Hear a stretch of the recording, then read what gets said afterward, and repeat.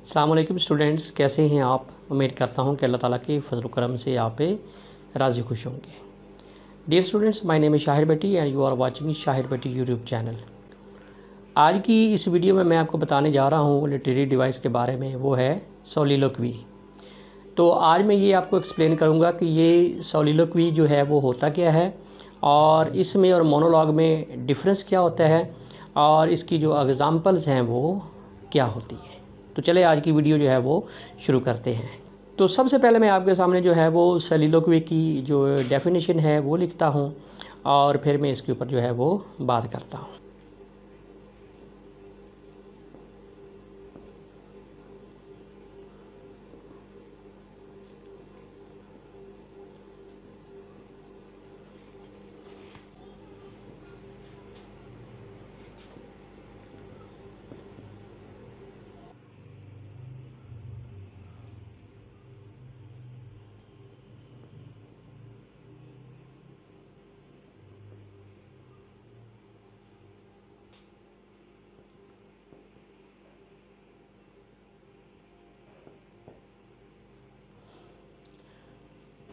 तो सोलिलोक्वी जो होता है, ये एक लिटरेरी डिवाइस होती है, जो किसी भी पोइट्री के अंदर ड्रामा के अंदर प्रोज़ के अंदर, या एनी पीस ऑफ़ लिटरेचर के अंदर जो है, उसको दिखा जाता है। बेसिकली ये एक टेक्निक है, जिसका राइटर जो है, वो किसी भी लिटरेरी डिवाइस में उसका इस्तेमाल करता है।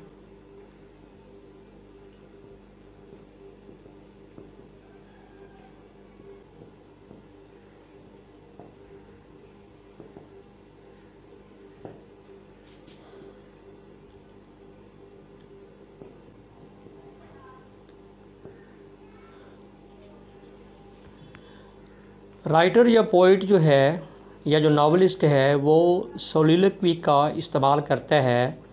बेसिकली ये एक टेक्निक है, जिसमें वो करेक्टर के जो इमोशंस हैं, जो इनर फीलिंग्स हैं, जो इमोशंस हैं, वो बताने के लिए इस टेक्निक का इस्तेमाल करता है।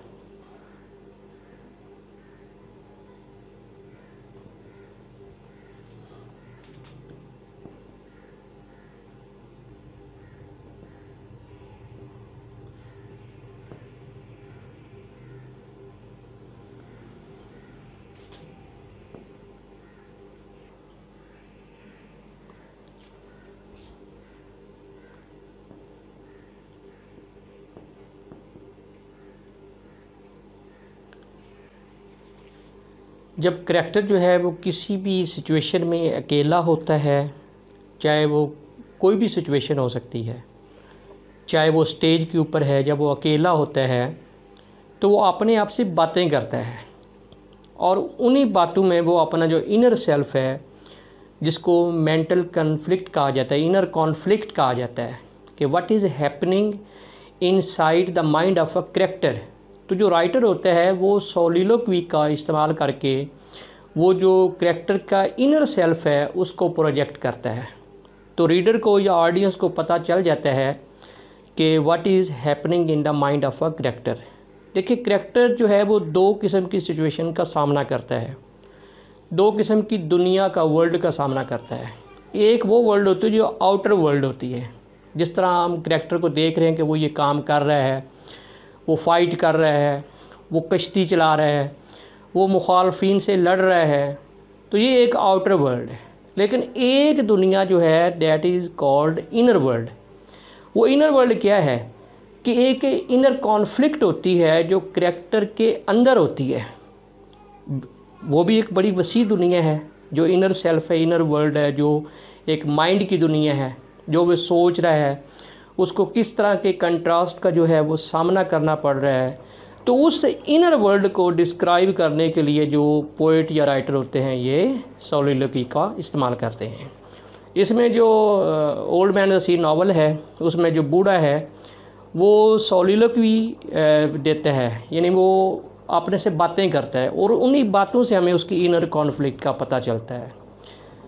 जो विलियम शेक्सपियर का प्ले है दी हेमलेट इसमें जो यंग हेमलेट है, प्रिंस हेमलेट है, वो उसकी फ़ेमस सॉलिलक्वी है to be or not to be that is the question तो इसमें यह है कि वो एक बड़ी लंबी स्पीच देता है और उससे हमें पता चल जाता है कि what is happening in the mind of the character तो भी जो होती हैं, वो करेक्टर की अंदरूनी दुनिया का पस मंज़र पेश करती है और ये एक टेक्निक है जिसका जो लिटरेरी डिवाइस है, जिसका जो है वो कोई ऑथर या पोइट जो है वो इस्तेमाल करता है।